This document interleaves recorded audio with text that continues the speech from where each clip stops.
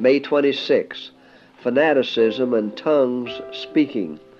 The spirits of the prophets are subject to the prophets, for God is not the author of confusion but of peace, as in all churches of the saints. 1 Corinthians 14, 32 and 33. A spirit of fanaticism has ruled a certain class of Sabbath keepers. They have sipped but lightly at the fountain of truth, and are unacquainted with the spirit of the message of the third angel.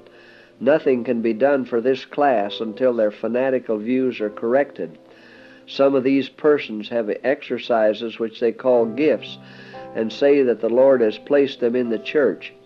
They have an unmeaning gibberish which they call the unknown tongue, which is unknown not only by man but by the Lord and all heaven. Such gifts are manufactured by men and women aided by the great deceiver.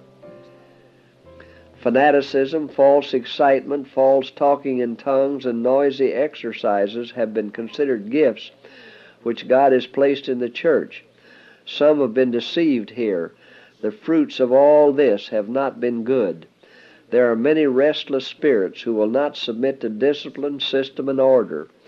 They think that their liberties would be abridged were they to lay aside their own judgment and submit to the judgment of those of experience.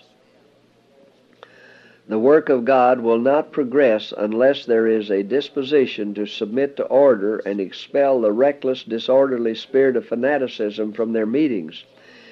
Impressions and feelings are no sure evidence that a person is led by the Lord. Satan will, if he is unsuspected, give feelings and impressions. These are not safe guides.